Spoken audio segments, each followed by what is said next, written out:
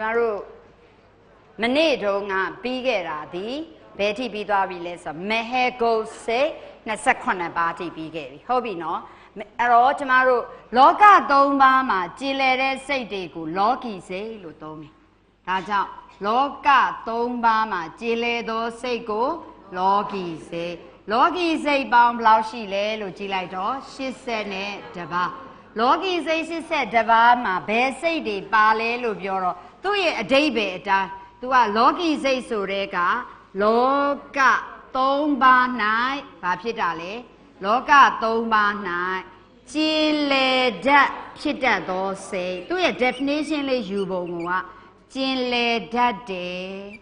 ဖြစ်တတ်သောစိတ်လို့ယူထားတယ်ကျင်လေတတ်ဖြစ်တတ်သောစိတ်ကို လောကီစိတ်ဒါဆိုရင်စိတ်ကလေးကိုဖယ်လိုက်မယ်လောကီအလုတ်လို့ပြောတာကိုကြားဘူးလား လောကီအလုတ်ဆိုရင်ဘာဖြစ်မလဲ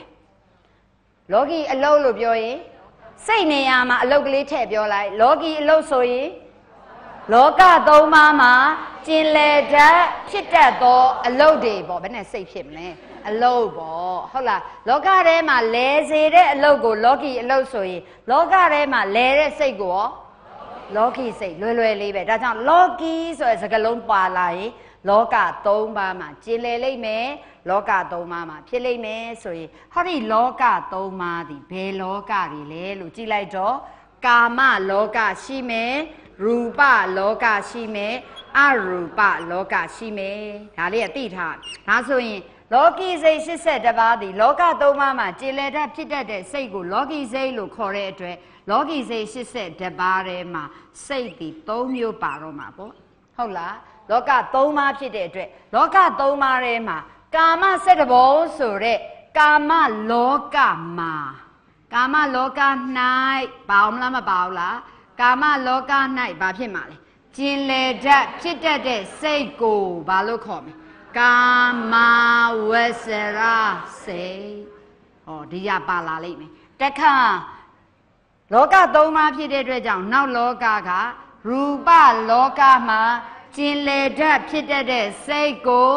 ရူပါဝဆရာစိတ်တတိထားမယ်ကျင်လေတတ်ဖြစ်တတ်တာတွေအကုန်လုံးကိုကျွန်မမနေ့ကရှင်းပြပြီးပြီ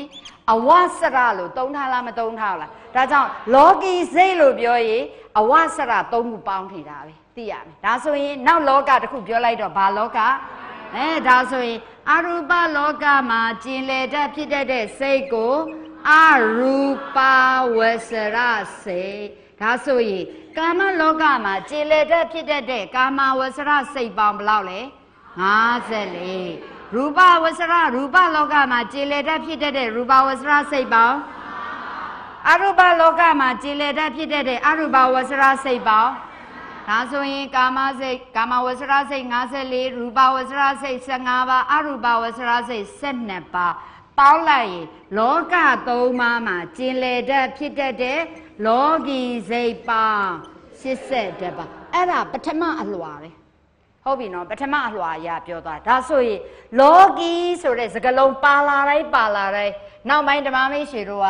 လောကီဆိုတဲ့စကားလုံးမြင်လိုက်တာနဲ့ပါဠိရဲ့အ내အဓိပ္ပာယ်ကိုလှမ်းသိရမယ်လောကီဆိုတာလောကသုံးပါးထဲမှာလဲနေတာလောကီပဲဟုတ်ပြီနော်ဒါဆိုရင်လောကသုံးပါးကိုလဲနေတဲ့ကျင်လေတဲ့ဖြစ်တဲ့လောကီစိတ်ပေါင်းက80တည်ရှိတဲ့အတွက်လောကသုံးပါးမှာကာမရူပအရူပလောကသုံးပါးမှာကာမလောကမှာကြည်လေတတ်ဖြစ်တတ်ရင်ကာမဝဆရာစေရူပလောကမှာကြည်လေတတ်ဖြစ်တတ်ရင် အရူပလောကမှာကြည်လေတတ်ဖြစ်တတ်ရင်ဒါဘာအနေနဲ့ပြောနေလဲဆိုရင်ပါဠိတော်လေးကိုမြင်ပြီးတာနဲ့အ내အဓိပ္ပာယ်ကိုတစ်ခုရတာနဲ့လိုက်စဉ်းစားတာကိုယ့်ရဲ့တင်ညာလေးအလုံးလုံးပေးနေတာဟုတ်ပြီနော်ဓမ္မမိတ်ဆွေတို့ဒီထိသဘောပေါက်လားအဲ့ဒီအထဲထဲမှာမှာတဲ့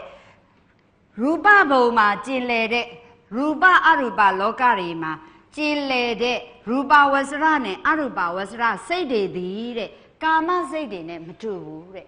ကာမစိတ်လို့ပြောရင်မတင့်ဟလာမတင့်တယ်တဲ့အာသောဗနာစိတ်30ရောမပါဘူးလားမတင့်တယ်တဲ့အာသောဗနာက30တင့်တယ်တဲ့သောဗနာ20ဒါဆိုရင်ဒါကစဉ်းစားပြီးတော့ပြောတာမနေ့ကဒါပြောပြီးပြီကာမစိတ်54ထဲမှာမတင့်တယ်တဲ့အာသောဗနာက30ပါ၍တင့်တယ်တဲ့သောဗနာကအဲ့ဒီတင့်တယ်တဲ့သောဗနာ24ကိုကြည့်ရင်လေကုရဲ့ ဝိရဲ့ကရိရဲ့ဆိုပြီးတော့၃မျိုးမရှိဘူးလားအဲ့ဒီမှာကုသိုလ်သည်ရှစ်ဝိဘတ်သည်ရှစ်ကရိယာသည်ရှစ်ရူပစိတ်15ပါးလို့ပြောရင်ရူပစိတ်15ပါးမှာမတင့်တယ်တဲ့အသောဗနာအရူပမှာလည်းမရှိဘူးရူပစိတ်15ပါးမှာကြည့်လိုက်ရင်လေကုဝိကရိအဲ့ဒီကုဝိကရိပေါင်းလိုက်ရင်15အဲ့ဒီ15မှာကြည့်ရင်ရူပကြရင်ကာမရုံကကြတော့ရှေးရှေး ရှစ်သွားတယ်လိုက်ရေးဖို့မဟုတ်ဘူးမြင်အောင်ရူပကြရင်ငါငါ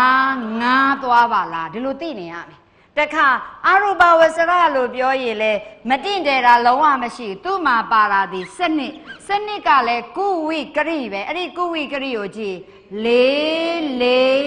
လေးဖြစ်နေတဲ့အတွက်အဲ့ဓာတွေအကုန်လုံးဒီတင့်တယ်တဲ့ကာမသောဗနာတုံးကအကျော်တိုင်းကုဝိကရိဖြစ်တဲ့အတွက် ရူပကလည်းကုဝိကရိအရူပကလည်းကုဝိကရိဖြစ်တဲ့အတွက်ကြောင့်ဒီရူပစိတ်မှန်သမျှသည်အသောဗနာမဟုတ်ဘူးသောဗနာအရူပမှန်သမျှသည်အသောဗနာမရှိသောဗနာကာမမှာကြတော့အသောဗနာက30သောဗနာက20ဒါကြောင့်ကာမတစ်ခုတည်းအာသောဗနာပါတဲ့အတွက်အာသောဗနာမှာကျွင်းသော24သည် ကာမသောဗနာအဲ့ဒီကာမသောဗနာကြည့်ကိုဝိကရိသည်မဟာနာမည်ပါပြီးတော့ရှေးရှေးရှေးဘာကြောင့်မဟာလဲမနေ့ကပြောပြီးပြီများတဲ့အရေးအတွက်ရှိတယ်ဘယ်ထက်များလဲလောကီထဲမှာမှရူပအရူပတို့ထက်များတယ်များတာမှမှတခါနှက်ထပ်ပြီးတော့နှိုင်းရှင်လိုက်ရင်မဟာကုသိုလ်ရှိကဲရူပကုသိုလ်9ရဲ့အရူပကုသိုလ်4ဆိုကုသိုလ်ချင်းကွန်ပယ်နှိုင်းရှင်ရင်လေမဟာကုသိုလ်သည်အရေးအတွက်သာများတယ် အရေးအချင်းကြတော့ရူပလောက်မမြင့်မြတ်ရူပသည်အရူပလောက်မမြင့်မြတ်ဒီစိတ်၃မျိုးဒီကုသိုလ်စိတ်၃မျိုးသည်လောကီထဲမှာပါတဲ့ကုသိုလ်ဖြစ်တဲ့အတွက်ကာမကုသိုလ်၈ရူပကုသိုလ်၅အရူပကုသိုလ်၄ပေါင်းလိုက်ရင်၁၈ဒီလောကီကုသိုလ်၁၇ ဝိဘက်ကိုကြည့်ရင်လေအခုကျမတို့ဒီနေရာမှာရှစ်ငါးလေးဒါသည်မဟာကုသိုလ်ရဲ့အကျိုးရူပကုသိုလ်ရဲ့အကျိုးအရူပကုသိုလ်ရဲ့အကျိုးတွေဖြစ်တဲ့ကြောင့်ဝိဘက်ကိုကြည့်ပြန်တော့လေကာမတဲ့စာရင်ရူပအရူပဝိဘက်ကပိုးတာပြန်ရောကရိယာကြည့်ပြန်တော့လေကာမတဲ့စာရင်ရူပအရူပကတာတဲ့အတွေ့တဲ့ရူပနဲ့အရူပနှစ်ခုပေါင်းလိုက်ရင်ကာမတဲ့စာရင်မြင့်မြတ်လားမမြင့်မြတ်ဘူးလားဒါကြောင့်ဒီ28ပါးကိုမြင့်မြတ်လို့ မဟေကုတ်စိတ်ဒါဆိုရင်လောကီစိတ်80နဲ့တပါးကိုသုံးဖြတ်ဖြတ်ပါဆိုရင်54 15စနစ်စာနဲ့ပြောရင်ကာမဝဆရာစိတ်54ရူပဝဆရာစိတ်15အရူပဝဆရာစိတ်12ပါဘာလောကီစိတ်80ကာမဝဆရတွေပါတွေမပြောခြင်းဘူးအရှိမပြောခြင်းဘူးအတူပြောခြင်းကာမစိတ်54ရူပစိတ် 15ပါအရူပါစိတ်12ပါဘာလောကီစိတ်ဒါကိုသုံးဖြတ်မဖြတ်ချင်မဲနဲ့နှစ်ဖြတ်ဖြတ်မယ်ဆိုပေါင်းလို့ရတာကာမနဲ့ရူပသွားမပေါင်းဘူးကာမနဲ့အရူပလည်းသွားမပေါင်းပေါင်းလို့ရမှာရူပနဲ့အရူပဘာကြောင့်လဲသူတို့နှစ်ခုစလုံးဒီဇန်နေကြီးပဲဒါကြောင့်နှစ်ခုပေါင်းလိုက်ရေးမဟေဂုစေဒါကြောင့်နှစ်ဖြတ်ပဲဖြတ်ပါဆိုရင် ကာမစိတ်54ပါမဟေဂုံစိတ်28ပါဘာလောကီစိတ်82ပါဖြစ်သွားပြီဒီထိလိုက်နိုင်လားမြင်သွားပြီနော်ဒါဆိုရင်လောကသုံးပါးလဲရေလောကီလောကသုံးပါးမှာကြည်လည်တဲ့စိတ်ပေါင်းဘယ်လောက်လဲအဲ့ဒီ82ပါးကိုသုံးဖြတ်ထိုးပြပါလို့ကဏန်းကြီးပဲပြောရင်54 15စနစ်ပေါင်း80 အဲ့ဒီ82ပါးကိုနှစ်ဖြတ်ပဲထိုးပြပါဆိုရင်54 29ပါ81ရပြီပေါ့ဟုတ်ပြီနော်ဒါဆိုရင်လောကရဲကိုလဲရင်လောကီလောက3ပါးမှာမလဲတော့ပဲနဲ့လောကရဲကနေလွတ်မြောက်လို့ရလောကုတ်တရာဟုတ်ပြီနော်တနည်းလောကသုံးပါးမှာဖြစ်တဲ့စိတ်တွေထဲမှာကာမတဲ့စာရင်ဘယ်သူကပုံမြင့်မြတ်ရူပတဲ့စာရင် အဲ့ဒီလောကသုံးပါးမှာဖြစ်တဲ့လောကီစိတ်တဲ့စာရည်နဲ့သူ့ထက်မြင့်မြတ်တဲ့စိတ်ကိုလောကုတ္တရာဒါကြောင့်လောကုတ္တရာဆိုတဲ့ definition ဒီလောကသုံးပါးထက်တာလွန်မြင့်မြတ်တာကိုလေလောကုတ္တရာလောကသုံးပါးထဲမှာလဲတာမဟုတ်ဘဲနဲ့လောကသုံးပါးကလွတ်မြောက်အောင်လုပ်ရင်လေလောကုတ္တရာဒါကြောင့်လောကုတ္တရာဆိုတဲ့စကားလုံးလေးဒီလောက လောကုတ္တရာဆိုတဲ့စကားလုံးလောကုတ္တရာဆိုတဲ့စကားလုံးလေးကိုမြင်ကျမတို့ကအတိတ်ပဲပေးတော့မယ်ဆိုပုတ်ဖြတ်ရတယ်ဖြုတ်လိုက်ဖြတ်လိုက်တဲ့အခါလောကရဲ့ဥတ္တရာတချောင်းငင်လေးဒီဥဟုတ်ပြီနော်ဒါကြောင့်လောကုတ္တရာဆိုတာကိုအတိတ်အတိတ်ပဲပေးတော့မယ်ဆိုရင်လောကအပေါင်းဥတ္တရာအခရာဥဒီတစ်ချောင်းငင်လေးဒီအခရာဥနဲ့အတူတူပဲ လောကနဲ့ဥတ္တရာပေါင်းရင်လောကုတ်တရာဖြစ်တယ်လောကအရာလောကဘယ်နှပါးကိုယူရမလဲ၃ပါးလောက၃ပါးလောက၃ပါးမှာလဲရင်လောကီဒါဆိုရင်လောက၃ပါးထဲမှာမလဲတော့ဘဲနဲ့လောက၃ပါးမှလွတ်မြောက်သွားရင်ပါလေဒါဆိုရင်လောကထဲလဲအောင်လုပ်တဲ့အလုပ်ဒီလောကီအလုပ်လောကထဲမှာလဲစေတဲ့ကုသိုလ်ကို လောကီကုသိုလ်ဒါဆိုရင်လောကထဲမှာမလဲပဲနဲ့လောကကလွတ်မြောက်အောင်လုပ်မဲ့အလုပ်ကုသိုလ်ကိုလောကုတ္တရာကုသိုလ်လို့ခေါ်မှာပေါ့ဟုတ်ပြီနော်ဒါဆိုရင်လောက၃ပါးမှလွတ်မြောက်သောစိတ်ကိုလောကုတ္တတခါလောကီထဲမှာလဲကာမတဲ့စာရင်ရူပကဒါလိုမြင့်မြတ်တယ်အရူပကပို၍ဒါလိုမြင့်မြတ်တယ်ဒါပေမဲ့လောကသုံးပါးထဲမှာလဲစေတဲ့ကာမရူပအရူပဆိုတဲ့အလုတ်တွေထက် တာလွန်မြင့်မြတ်ရင်လဲဘာလို့ခေါ်လဲဒါဆိုရင်ဥတ္တရာဆိုတဲ့ definition လေးကိုပြောပြီးဥတ္တရာဆိုတာလွတ်မြောက်ရေးလဲဥတ္တရာတာလွန်မြင့်မြတ်ရင်လဲတာလွန်မြင့်မြတ်ရင်လဲဥတ္တရာဒါဆိုရင်လောကုတ္တရာဆိုဒီမှာလောက၃ပါးမှလွန်မြောက်သောစေနောက်တနည်းလောက၃ပါး မှလို့မပြောတော့လွတ်မြောက်တယ်လို့ပြောရင်ကျမတို့မြန်မာစကားလုံးတွေရေးရမှာပေါ့မြန်မာစာလွတ်မြောက်သွားတယ်ဆိုရင်နေရာကနေလွတ်သွားတာဖြစ်တဲ့အတွက်ကြောင့်လောကသုံးပါးမှလွတ်မြောက်သောစိတ်ကိုလောကုတ္တရာစိတ်ဒါဆိုရင်တာလွန်မြင့်မြတ်တယ်ဆိုရင်ဒါနှိုင်းရှင်တာမဟုတ်လားလွတ်မြောက်တယ်ဆိုတာနေရာပြတာဒါကြောင့်မှလွတ်မြောက်တယ်ခုတာလွန်မြင့်မြတ်တယ်ဆိုတာ compare နှိုင်းရှင်ရမှာဖြစ်တဲ့အတွက်လောက၃ပါးထဲတာလွန်မြင့်မြတ်ရင်လောကုတ္တရာဒါဆိုရင်စိတ်တွေကိုပြောရင်လောကသုံးပါးမှာကြည်လည်တဲ့စိတ်ကိုလောကီလောကသုံးပါးမှာမကြည်လည်တော့ဘဲနဲ့လွတ်မြောက်တဲ့စိတ်ကိုလောကုတ္တရာစိတ်လောကသုံးပါးမှာဖြစ်တဲ့စိတ်တွေထက်တာလွန်မြင့်မြတ်တဲ့စိတ်ကိုလောကုတ္တရာစိတ်ပဲပေါ့ဒါဆိုရင် လောကီစိတ်မှန်သမျှကာမစိတ်ကကာမဘုံမှာကျင်လဲမယ်ရူပစိတ်တွေဖြစ်ရင်ရူပဘုံမှာကျင်လဲမယ်အရူပစိတ်တွေဖြစ်ရင်အရူပဘုံမှာကျင်လဲမယ်ကျင်လဲမယ်ကျင်လဲမယ်လို့ပြောတော်လဲများသောအဖြစ်နေတာနည်းနည်းချင်းချင်းတော့သူ့ဘုံတခြားဘုံနေမှာရောဖြစ်လားမဖြစ်ဘူးလားဒါဆိုရင်လောကသုံးပါးမှာကျင်လဲရင်လောကီလောကသုံးပါးမှာလွတ်မြောက်ရင်လောကသုံးပါးမှာဖြစ်တဲ့စိတ်တွေထက်ကာမရူပအရူပစိတ်တွေထက် တာလွန်မြင့်မြတ်တဲ့စိတ်ကိုကြတော့လောကုတ္တရာစိတ်ရှင်းရောရှင်းလားဒါဆိုရင်လောကုတ္တရာစိတ်ပေါင်းဘယ်လောက်ရှိလဲ40အကျေးအားဖြင့်10ပါးအကျယ်အားဖြင့်40လောကုတ္တရာစိတ်အကျဉ်းရှိအကျယ်40ကိုကြည့်ရင်တဲ့လောကသုံးပါးမှာလွတ်မြောက်အောင် ပြုလုပ်တဲ့အကြောင်းစိတ်ဟလာအကြောင်းစိတ်ကောမရှိဘူးလားလောကသုံးပါးမှာလဲအောင်မဟုတ်ဘဲနဲ့လောကသုံးပါးမှာလွတ်အောင်လုပ်မဲ့ အကြောင်းစိတ်ရှိလာမယ်လောကသုံးပါးမှာလွတ်တဲ့အကြောင်းကြောင့်အကျိုးစိတ်တွေရှိလာလိမ့်မယ်တဲ့ဒါဆိုရင်လောကသုံးပါးမှာလွတ်မြောက်အောင်ပြုလုပ်မဲ့အကြောင်းစိတ်ဆိုလောကကလွတ်အောင်လုပ်ပြီဆိုတဲ့ကဒီအကြောင်းဆိုရင်အကြောင်းဆိုရင်နှစ်မျိုးပဲရှိမယ်ကုသိုလ်အကြောင်းနဲ့အကုသိုလ်အကြောင်းဆိုတဲ့အထဲမှာဒီအကြောင်းစိတ်ဒီကောင်းမှာလားမကောင်းလားကောင်းမှာဖြစ်တဲ့အတွက်ကြောင့်အကြောင်းစိတ်ဒီဘာလဲ ကုသိုလ်ဒါဆိုရင်လောကသုံးပါးမှလွတ်မြောက်အောင်လုပ်မယ်အကြောင်းစိတ်ကို လောကုတ္တရာကုသိုလ်စိတ်ဟုတ်တယ်လားလောကုတ္တရာကုသိုလ်ရဲ့အကြောင်းဆိုတဲ့လောကုတ္တရာအကြောင်းကြောင့်ဖြစ်လာမဲ့အကျိုးစိတ်ကိုဝိဘက်စိတ်ရှင်းရောရှင်းပါလားဒါဆိုရင်လောကုတ္တရာစိတ်ကြရေးနဲ့အခြားစိတ်တွေလို့လောကသုံးပါးကလွတ်အောင်လုပ်တဲ့အတွက်ကြောင့်အကုသို့မပါဘူး လောကသုံးပါးမှလွတ်တဲ့အကြောင်းဒီကုသိုလ်သာဖြစ်ရမယ်အဲ့ဒီအကြောင်းပေါ်မူတည်ပြီးတော့အကျိုးရောမဖြစ်ဘူးလားဖြစ်ကြတယ်အဲ့တော့လောကကလွတ်အောင်လုပ်နေပါတယ်ဆိုတဲ့ကလွတ်မြောက်အောင်စ조사စေသူတွေမှသာဖြစ်တာလောကကလွတ်မြောက်ပြီးသွားတယ်လောကသုံးပါး32ဘုံတန်နေရာမှာမလဲတော့ဘဲနဲ့ဘယ်ရုပ်ဘယ်နံဘယ်ခန္ဓာမှမရတော့ဘဲနဲ့လွတ်မြောက်ပြီးသွားတဲ့ပုံကိုရောမရှိဘူးလား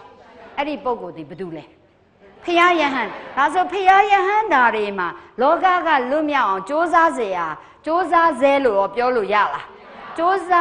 ပြီးသွားပြီလို့ဖြစ်တဲ့အတွက်ကြောင့်ဖရာယဟန်ဓာတွေမှာဒီစိတ်တွေမရှိတော့တဲ့အတွက်တဲ့သူတို့မှာကရိယာဆိုတာဖရာယဟန်နာဖြစ်ပြီးသွားရင်ဒီစိတ်မရှိတော့ဘူး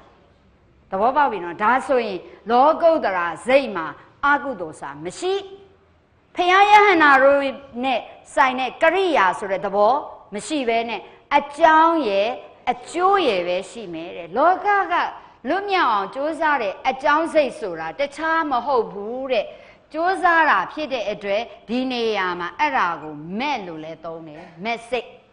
အဲကြောင့် message ဆိုတာဒီကျမတို့လောကကလွတ်မြောက်အောင်ကြိုးစားစေဒါကြောင့်ကြိုးစားစေဆိုရင်ကုသိုလ်ဒါဆိုရင်လောကကလွတ်အောင်ကြိုးစားစေဒါမှမဟုတ် ဟလာလောကမှာလွတ်မြောက်ဆဲဆိုရင်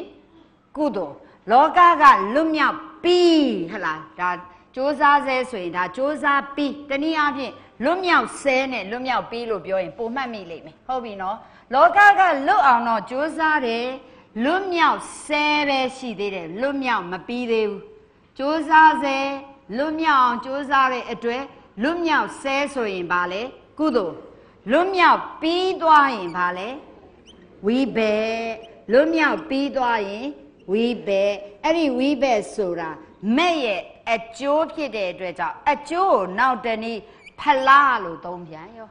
အကျိုးကိုဖလားဒါကြောင့်မဲ့ရဲ့အကျိုးဒီဖလားကနေလာတဲ့အတွက်ဖလားကိုပါဠိအနေနဲ့မြန်မာမှုပြုလိုက်တော့ဖိုးဒါကြောင့်လောကုတ္တရာကုသိုလ်ဆိုရင်မဲ့လို့သဘောပါလောကုတ္တရာဝိဘက်ဆိုရင်ဖိုစိတ်လို့သဘောပါ မက်စိတ်နဲ့ဖိုစိတ်ဒီကုသိုလ်နဲ့အကျိုးစိတ်တွေဖြစ်တဲ့အတွက်လောကုတ္တရာကုသိုလ်သည်အကျဉ်း၄ပါးဆိုရင်ဝိဘက်စိတ်လည်းအကျဉ်း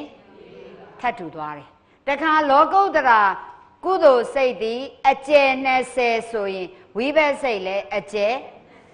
မဟာကုသိုလ်ရှစ်ဆိုရင်မဟာဝိဘက်လည်းရှစ်ရူပကုသိုလ်9ဆိုရင်ရူပဝိဘက်9 ရူအရူပကုသိုလ်4ဆိုရင်အရူပဝိဘက်4ဖြစ်တယ်လို့လောကုတ္တရာကုသိုလ်အကျဉ်းလေးဆိုရင်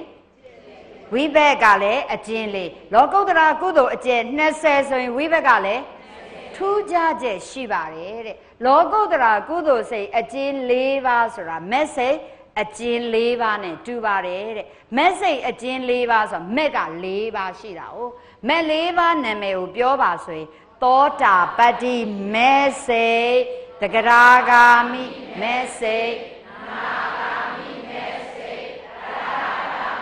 နောက်တစ်ခေါက်ပြန်ပြောမယ်မက်စိတ်စိတ်မပြောနဲ့မက်တီဘယ်နှပါရှိလဲလေးမက်လေးပါရယ်ဖိုးလေးပါရယ်နိဗ္ဗာန်ရယ်ပေါင်းလိုက်ရင်၉ပါးအဲ့ဒီ၉ပါးကိုလောကုတ္တရာတရား၉ပါးလို့သုံးတယ်ကြားဘူးလားမလေးတံဖိုလေးတံနိဗ္ဗာန်ဒီဟုသောဤလောကုတ္တရာတရား ကိုးပါးလျော်သောဇေဝပတိပတ်ဖြင့်ဣမာယဓမ္မာနုဓမ္မပฏิပတ်တိယဗုဒ္ဓံဘူဇေမိဓမ္မံဘူဇေမိတန်ခံဘူဇေဆိုဘူးလားလည်းမသိဘူးအဲ့ဒီမှာလောကုတ္တရာတရားဘယ်နှပါ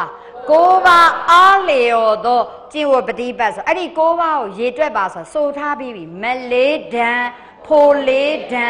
နိဗ္ဗာန် ဟာလားပရိယမပါဘူးလောကုတ္တရာတရားဆိုရင်၉ပါးပဲဟုတ်ရဲ့လားအဲ့တော့မက်၄ပါးကိုပြောပြပါဆိုရင်သောတာပတ္တိမေတဂရာဂာမိမေအနာဂာမိမေအရဟတမေဖို၄ပါးကို ပြောပြပါသောတာပတ္တိဖိုတဂရာဂာမိဖိုအနာဂာမိဖိုအရဟတဖို မက်လေးပါးနဲ့ရှင်တဲ့စိတ်ကိုမက်စိတ်ဖိုလေးပါးနဲ့ရှင်တဲ့စိတ်ဖိုစိတ်ဒီလောက်ပဲမှတ်ထားအောင်မက်လေးပါမက်ဆိုတာဘာလဲဖိုဆိုတာဘာလဲမက်လေးပါးနဲ့ရှင်တဲ့စိတ်ဒီမက်စိတ်ဒီလောက်အကျမ်းပဲသိထားမက်ဆိုတာဘာလဲဖိုးဆိုတာဘာလဲဆိုတာဆက်ပြောမယ်ဟုတ်ပြီနော်ဒါဒီနောက်ပိုင်းနေမှာဆက်လေ့လာခွင့်ရမယ်ဒါကြောင့်မက်နဲ့မက်စိတ်တူလားမက်နဲ့မက်စိတ်တူပါသလား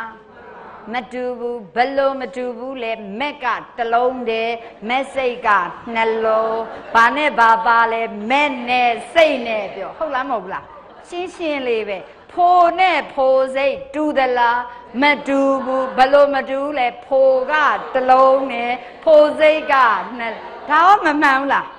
အီမန်သောသစ္စာစကားပဲဟုတ်လားမဟုတ်လားမှန်တာပဲဒါပေမဲ့မတူဘူးစလုံးမောင်းခြင်းလည်းမတူတယ်လို့အတိဘယ်ခြင်းလည်းမတူဘူးတဲ့မဲ့ဆိုတာလောကကလွတ်မြောက်အောင်ကြိုးစားဇဲကိုမဲ့လောကကလွတ်အောင်ကြိုးစားဇဲကိုမဲ့လောကကလွတ်အောင်ကြိုးစားပြီးကိုဖို့မဲ့သည်ကြိုးစားဇဲဆိုတော့အကြောင်းလားအကျိုးလားအကြောင်း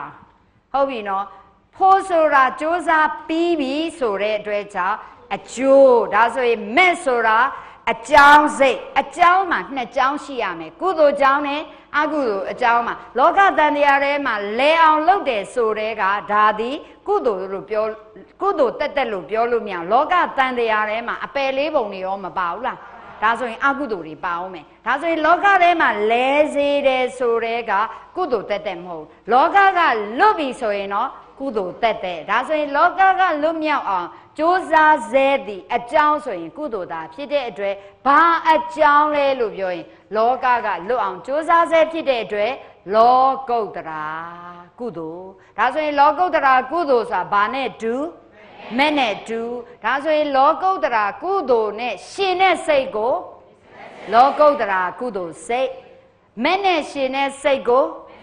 ဒါလေးတွေကွဲသွားလိမ့်မယ်နားလည်ပြီနော်လောကကလွတ်မြောက်အောင်ကြိုးစားပြီးကိုဝိဘက်ဖို့ဖို့ဆိုတာမဲ့ရဲ့အကျိုးမဲ့ရဲ့အကျိုးဖြစ်တဲ့အတွက်လောကုတ္တရာဝိဘက်တဲ့ဒီထိလိုက်နိုင်လားဒါဆိုရင်တဲ့လောကကလွတ်မြောက်အောင်ကြိုးစားတယ်ဆိုရင်ဘာတွေကိုပယ်ရမလဲတဲ့ဒါပြောရတော့လောကတန်တရားထဲမှာလဲနေကြတယ်ဆိုတာအပယ်ကိုဒိုက်ရိုက်လဲစေတာအကုသို့စစ်စစ်ကြီး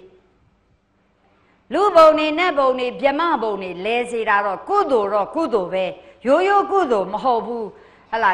လူဘဝနတ်ဘဝမြမဘဝတွေကိုလိုချင်တောင်းတတဲ့လောဘခေါင်းဆောင်တဲ့တရားတွေပါပြီးတော့လုပ်တဲ့ကုသိုလ်တွေအဲ့ဒီလောဘခေါင်းဆောင်တဲ့တရားတွေပါလာရင်စိတ်အစဉ်ဒီ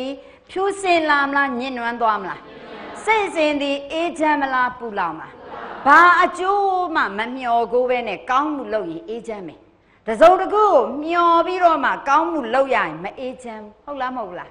ဓမ္မမိတ်ဆွေများဒါဟောသိကြလားဘာအကျိုးမှမမျောကူပဲနဲ့ဖះအေးချမ်းချမ်းဖះရှိခိုးနေတယ်ဖះကုံပွားနေဘာအကျိုးမှမမျောဘူးဆိုရင်အေးချမ်းလားပူလောက်လားစာမေးပွဲအောင်ကျင်လို့ဖះရှိခိုးနေရတယ်ဟုတ်လားမဟုတ်ဘူးလားဟုတ်လားဒါမျိုးကမရှိဘူးလား ဟုတ်တယ်နော်နေမကောင်းမှနေမကောင်းနေတာပို့ပြီးတော့စိုးသွားမှကြောက်လို့ဖះကိုရေသွားတက်ပေရတယ်အေးကြလားပူလောင်လားပူလောင်နေတက်တက်ကြီးမဟုတ်မြတ်စွာဘုရားအေးချမ်းပါစေဒီအချိန်ဆိုရင်တက်တော်ထင်ရှားမြတ်စွာဘုရားရေသုံးတတ်မဲ့အချိန်ပါပဲဆိုပြီးဖះတက်တော်ထင်ရှားမြတ်စွာဘုရားကိုအာယုံပြုပြီးရေတက်ပယ်နေမယ်ဒါဒီခြေစေးတော်ရေးပါဖះ ဒါကတော့လက်စေးတော်ရေးပါဖះဒါကတော့သုံးဆောင်တော်ရေးပါဖေ။ဒါကတော့မြင့်နဲ့တစ်တော်ရေးပါဖေ။ဒါကတော့တောက်တော်ရေးပါဆိုတက်တော်တေရှားဖေကိုရည်ရွယ်ပြီးဘာအကျိုးမှမမျှော်ဘဲနဲ့ရေတက်ပယ်ရတာအေးချမ်းလားပူလောင်လားလက္ခဏာဆရာကဘေးရင်ဆရာကရေရရာတက်ချီခိုင်းလိုက်ပြီဟုတ်တယ်လားရေတက်ပဲမင်းဒီလောက်တောင်ပူလောင်နေတာဒါကြောင့်ရေတက်ပဲဆိုလို့ဖះကိုရေသွားတက်ပယ်ရတော့မယ် ဒီအချိန်မှာမိုးရရလဲရွာသလားမပြောနဲ့ဟုတ်တယ်လားဟုတ်လားမဟုတ်ဘူးလားရေတက်ပယ်တဲ့အချိန်မှာမိုးမရွာနေဘူးလားမိုးရွာနေတဲ့အချိန်မှာဖះကိုရေထက်တက်ပယ်စရာလို့လားမိုးတွေကရွာကို့မှာတော့မိုးဆိုမှကြောက်လို့ထီးဆောင်ဖះကိုတော့အမေအတွက်ဆိုတော့60နဲ့တစ်ခွက်တစ်ခွက်နှစ်ခွက်ဒီချိန်မှာဘေးကလာစကားပြောတခါလေကိုယ့်ခွက်ကိုလာယူလိုက်ရင်တထောင်နဲ့တွက်ဟုတ်လားမဟုတ်လားတခါလေကြော်ပြီးတော့မမီတော့ပက်တာရောမရှိဘူးလား ခုနကရေတက်ပယ်တာတဲ့အခုရေတက်ပယ်တာအေးချမ်းလားပူလောင်လားဒါဆိုရင်ကုသိုလ်လောက်တော်လေတဲ့လိုချင်မှုတွေဟလာစိုးရွံ့မှုတွေအများခိုင်းလို့ဘာမှမသိညာမှမသိနဲ့ဒါလုံနေရရင်အဲ့ဒီကုသိုလ်ဒီအေးချမ်းလားပူလောင်လားဘာကြောင့်လဲတဲ့ပူလောင်လောက်အောင်အကုသိုလ်တွေပါသွားလို့ဒါကြောင့်စိတ်အစဉ်ကိုညှဉ်းနှွမ်းပူလောင်စေတဲ့အကုသိုလ်ကိလေသာလို့သုံးတယ် ဟုတ်ပြီနော်ဒါဆိုရင်ကျမတို့လုပ်နေတဲ့ကာမကုသိုလ်ဆိုတဲ့ဒါနသီလတမထဝိပဿနာဆိုတဲ့ကုသိုလ်ဒီအကုသိုလ်ကိလေသာအငွေ့အသက်ပါပြီးတော့လောက်တာရောမရှိဘူးလားအငွေ့အသက်မပါပဲလောက်တဲ့ကုသိုလ်လည်းရှိတယ်ဒါဖြတ်တယ်နော်မှာဒါဆိုရင်ကျမတို့ကစာသိနေဘာမှမလိုချင်မဲနဲ့မတောင်းတပဲနဲ့ ကိလေသာတန်တရားတွေကနေလွတ်စေခြင်းလို့အကုသိုလ်ပယ်ခြင်းလို့လာတင်တယ်တရားတွေလာနာတယ်လက်တွေ့ကြင်ကြံတယ်ဆိုအဲ့ဒီအချိန်ကြီးအေးချမ်းနေတယ်ဒီလိုမဟုတ်ဘဲနဲ့သူများတွေတင်တန်းတက်တယ်ဒါ fashion ပဲဒိုးလဲလိုက်တက်မှာပေါ့ဟဲ့ဒါဆိုပူလောင်လောင်မရှိဘူးလားတင်တန်းတက်တာအခု fashion ဖြစ်နေတာကျမတို့တော့ကတင်တန်းတက်တာ fashion မဟုတ်ဘူးကျမတို့တော့ကဒီတရားတွေသိပြီဆိုရင်ပဲတငယ်ချင်းတွေကနှာခေါင်းရှုံတယ် ငငယ်နဲ့နင်တီလာရှင်ဝတ်တော်မှာလားခင်လာတင်ရဲ့ဟုတ်လားမဟုတ်လားအဲ့ဒီလိုထင်လားမထင်လားဒီတရားသင်လိုက်တာနဲ့ဘုန်းကြီးဝတ်တော်မလို့လို့တီလာရှင်ဝတ်တော်မလို့လို့ဦးကြောင်ကြောင်လောကကြီးကိုစိတ်ကုန်းနေသလိုလိုမဲအဲ့လိုသတ်မှတ်တာကဲစဉ်းစားကြည့်ပါဦးဒီတရားသင်တာမျက်နှာကိုငဲနေနင်ဘာတွေရှောက်လုံနေတာလဲကွန်ပျူတာတွေဘာတွေသင်မာလားဘာတွေလုပ်နေတယ်လဲဒီလိုသင်တာပဲမျက်နှာငဲရလားမငဲရဘူးလားငဲရတယ်အခုတော့ ငါကဗိဓမာငါကဝိတုဒ္ဓိမဲ့ငါကတီကာကျော်ဆိုဟာဒီလိုငါငါလက်လေးတွေတထောင်ထောင်နဲ့ဂုံရှိလားမရှိလားနင်ကဘယ်နဲ့ဆင့်လဲငါကတဆင့်ဟွန်းငါသုံးဆင့်လုံးနှစ်ချင်းဟောဒီဟာဒီ fashion ဖြစ်လားမဖြစ်ဘူးလားအဲတို့ကဘယ်နှဌာနမှာတော့လိုက်တက်တာမလို့ဘယ်သူတွေသင်တာဘလို့ဆိုအဲ့ဒါ fashion ဒါကြောင့်ဘာမှမသိညာမှမသိသူများဘိဆိုလို့ငါလည်းလိုက်ဘိမယ်ဆိုရင်တော့အဲ့ဒီအခြေဒီအေဂျန်လားပူလောင်လားလူကလည်းညာနေရာကယူဝသေး ဒါနဲ့လေတပါးမိတ်ဆွေပြအေးလားပူလားပူတယ်ဒါကြောင့်မဦးနဲ့ဟုတ်တယ်လားဓမ္မမိတ်ဆွေသဘောပြောပြနေတာဒါဆိုစိတ်အစဉ်ဒီပူလောင်မှုလာပြီဘာမှမသိညာမှမသိသူများဘိမို့လို့ကိုလည်းလိုက်ဘိလိုက်တာတင်လိုက်တော့လဲစာမွေးဖြေရမယ်တဲ့မေးရင်ဆရာမမင်းဖြေချင်တာ哦ဒါကြောင့်ငါရအောင်ဆိုတာလဲရတဲ့နေ့ကျရင်ဒီလိုထောင်းမရတဲ့နေ့ကျရင်ဒီလိုငေါဒါလဲအေးလားပူလား မပူပြန်ရောဟုတ်တယ်လားစာရတာကိုလည်းကြွားကျင်သေးတယ်မရရင်လည်းစိတ်ကမကောင်းဟောစာမေးပွဲမဟုတ်သေးဘူးနော်ဒါရိုးရိုးနှုတ်ဖြေပဲရှိသေးတယ်အော်တကယ်စာမေးပွဲကြရင်သူများနေတူငါလည်းရကျင်သေးဆိုပူလောင်မှုတွေစင့်လောဘကြီးနဲ့လိုချင်လည်းပူလောင်နေကြောက်ပြီးတော့ဒေါသနဲ့ကြောက်ရင်လည်းပူလောင်နေဘာမှမသိညာမှမသိလည်းပူလောင်နေအဲ့ဒီလှုပ်တဲ့ကုသိုလ်တွေဒီမတန့်စင်ဘူးတဲ့ဒါကြောင့်ကုသိုလ်မှာတန့်စင်တာရှိတယ်မတန့်စင်တာရှိတယ်အဲ့ဒီမှာ ကာမကုသိုလ်ရူပကုသိုလ်အရူပကုသိုလ်လို့ကုသိုလ်တွေအစဉ်စဉ်ရှိတဲ့နေရာမှာအဲ့ဒီကုသိုလ်ဒီတန်တန်စင်စင်လောက်တာရှိတယ်လို့လိုခြင်းမှုနဲ့လူဘုံနဲ့ဘုံသွားခြင်းလို့လောက်တာရှိတယ်ဗျမဘုံသွားခြင်းလို့လောက်တာရှိတယ်အရူပဘုံသွားခြင်းလို့လောက်တာရှိတယ်အဲ့ဒီလိုလိုခြင်းမှုနဲ့လောက်တဲ့ကုသိုလ်တို့ဒီတန်တရားကိုလဲစေတယ်တဲ့ဟုတ်ပြီနော်ဘာကိုမှမလိုခြင်းမဲနဲ့ ကိုယ့်ရဲ့စိတ်တန်တန်မှာအကုသိုလ်တွေစင်းနေအောင်ကိုယ့်ဝစီကံမှာအကုသိုလ်ကင်းအောင်ကိုယ့်ကာယကံတွေအကုသိုလ်ကင်းအောင်ဆိုအဲ့ဒီကုသိုလ်ဒီကိလေသာတွေမပါရတဲ့ကြောင့်ကင်းစင်နေတဲ့ဒါကြောင့်အကုသိုလ်မှာရှိတဲ့စိတ်အစဉ်ညှဉ်းနှွမ်းစေတဲ့ကိလေသာအဲ့လိုတွဲပြောပြီးတင်မိသားဓမ္မမိတ်ဆွေတွေနားဆိုင်ထားလိုက်အာဟုသို့စိတ်မှာတွဲဖက်ပါတဲ့ကိလေသာဆိုရင်အာဟုသို့စိတ်နဲ့ကိလေသာတူလားဘလို့မတူလဲသင်ပြီးသားသူအတွက်ညံစမ်း အာဟုသို့စိတ်တွေမှာတွဲဖက်ပါတဲ့ကိလေသာလို့ကျွန်မသုံးသွားတယ်ဟုတ်လားမဟုတ်လားအာဟုသို့စိတ်မှာတွဲဖက်ပါတဲ့ကိလေသာလို့သုံးတဲ့အတွက်အာဟုသို့စိတ်နဲ့ကိလေသာတူလားအေးလေတွဲမတွဲမသုံးသားပြီဆိုတဲ့ကဘယ်တူနိုင်မလဲဘလို့မတူလဲဟဲ့အာဟုသို့စိတ်ကစိတ်ကိလေသာဆိုတာစေတသိက်ဟုတ်တယ်လားအာဟုသို့စိတ်တွေမှာကိလေသာထိုက်တဲ့စေတသိက်တွေပါသွားတာတွေရောမရှိဘူးလား ဟုတ်ပြီနော်ပါသွားတာအဲ့ဒီလိုပါရင်အဲ့ဒီကုသိုလ်ဒီအကုသိုလ်မှာကိလေသာထိုက်တဲ့စေတသိက်တွေပါသွားတယ်ရှင်သွားတယ်ဒါအပြင်ကုသိုလ်စိတ်တွေမှာလည်းတခါတရံကိလေသာထိုက်တဲ့စေတသိက်တွေတွဲပါပြီးတော့လှုပ်လို့ရှိတယ်လှုပ်တာရောမရှိဘူးလားအဲ့ဒါကိုဆိုင်ရာအကြောင်းနဲ့မတွေ့ရင်တော့မဖြစ်ဆိုင်ရာအကြောင်းနဲ့တွေ့ရင်ဖြစ်တဲ့အတွက်ကြောင့်အဲ့ဒီကိလေသာကိုအနုတယလို့သုံးတယ်။ဒါကြောင့်ကုသိုလ်လုပ်တော်လဲရည်ရွယ်ချက်တွေမျှော်လင့်ချက်တွေနဲ့လုပ်တဲ့ကုသိုလ်တွေလည်းရှိလားမရှိဘူး။ အဲ့တော့ကာမကုသိုလ်ရူပကုသိုလ်အရူပကုသိုလ်မှာအဲ့ဒီလိုလိုချင်မှုတွေတက်မဲ့မှုတွေတောင်းတမှုတွေပါပြီးလုပ်တတ်တဲ့အတွက်ဒီလိုမျိုးကုသိုလ်အကုသိုလ်တို့ဒီကိလေသာပါရင်ဘုံဌာနဘဝတွေလဲစေအောင်ကျေစုပြုတယ်တဲ့လောကုတ္တရာကုသိုလ်ဆိုတဲ့မက်ကတော့တဲ့အဲ့ဒီကုသိုလ်တွေမှာပါတတ်တဲ့ကိလေသာကိုရည်ရွယ်ချက်နဲ့ပယ်တတ်တဲ့အတွေ့တဲ့နောက် definition ပေါ်လာတယ်မက်ဆိုသည်မှာ ကိလေသာတို့ကိုပယ်တတ်တတ်သောသဘောဒါပေါ်လာပြီဟုတ်ပြီနော်ဒါကြောင့်မက်ဆိုတာဗါတဲ့လေကိလေသာကိုပယ်တတ်တတ်တဲ့သဘော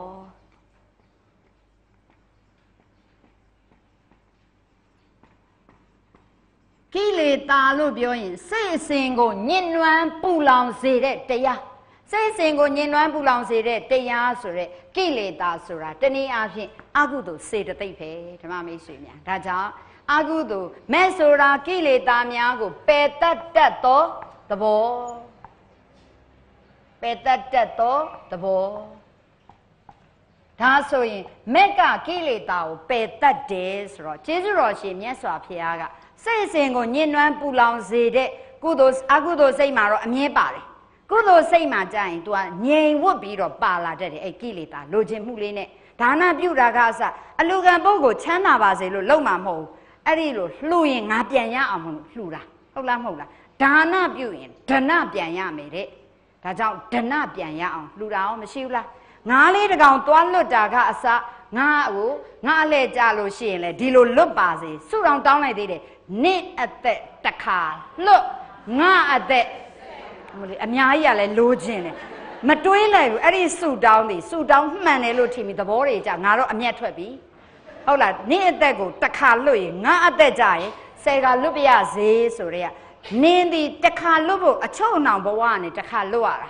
ငါဆယ်ကလွတ်ဖို့ငါဆယ်ကဘယ်နဲ့တော့အဲ့ဒီစုတောင်းကောင်းလို့လား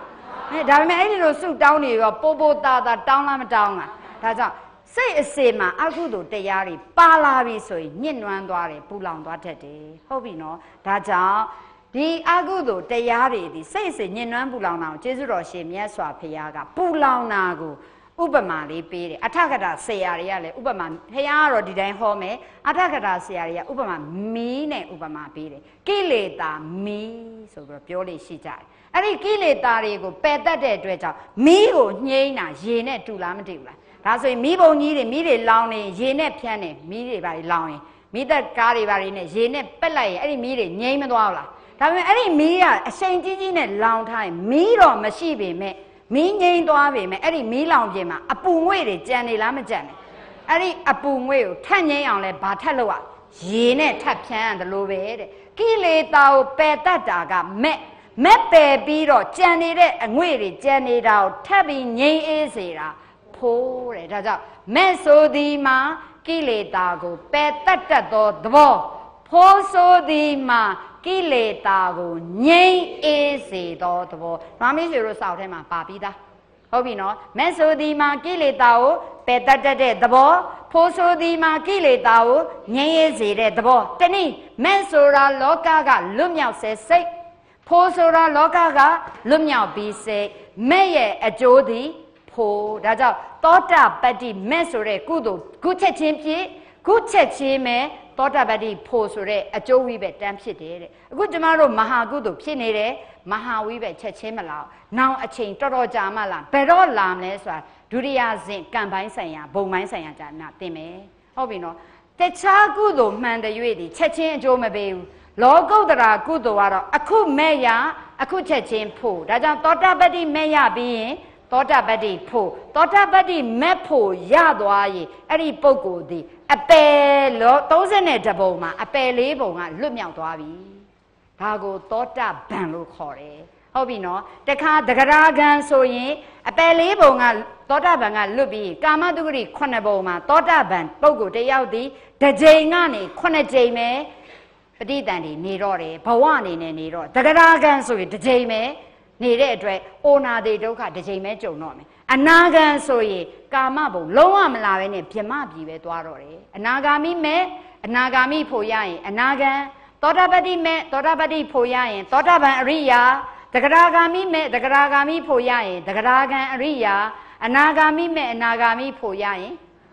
အနာဂံအရိယာအရဟတမေအရဟတဖို့ရရင်ယဟန္တာယဟန္တာဆို32ဘုံလောကအပိလွတ်သွားလားမလွတ်သွားဒါကြောင့်လောကကလွမြောက်ဆဲသည်မဲ့ လောကကလွတ်မြောက်ပြီးသည်ဖိုးလောကကလွတ်မြောက်အောင်ကြိုးစားဆဲသည် လောကုတ္တရာကုသိုလ်လောကကလွတ်မြောက်ပြီးလောကုတ္တရာဝိဘေအဲ့ဒီ message ဖို့စိတ်တွေဖြစ်ရင်လောကုတ္တရာဖြစ်သွားပြီလောကကလွတ်မြောက်သွားတဲ့အတွက်အဲ့ဒီ message ဖို့စိတ်တွေဆိုရင်ကိလေသာကလွတ်မြောက်ဆဲကိုမဲကိလေသာလွတ်မြောက်ပြီးကိုဖိုးကိလေသာမရှိကုန်ခန်းတာနိဗ္ဗာန် ဒါကြောင့်မက်ဖို့နိဗ္ဗာန်ဆိုတာဒါပါပဲဒါပေမဲ့နိဗ္ဗာန်ဆိုတာစိတ်တွေမဟုတ်ဘူးဒါသိရမယ်ဒီကဏ္ဍနောက်ပိုင်းမှာဆက်ပါမယ်အိမ်စာပေးလိုက်ပါတယ်တခုမှားစရာရှိပါတယ်နောက်အပတ်ကြရင်ကျမတို့သင်တန်းတွေတနင်္လာနေ့ယူလို့မရပါဘူးเนาะဒါကြောင့်နောက်အပတ်မှာအင်္ဂါဗုဒ္ဓဟုယူပါမယ်ရပါမလားရတယ်နော်အဲ့ဒါလေးနည်းနည်းလေးကျမခွင့်တိုင်တာဖြစ်ပါတယ်နောက်တစ်ပတ်တနင်္လာကျမသွားเสียရှိလို့ပါကျေးဇူးတင်ပါတယ်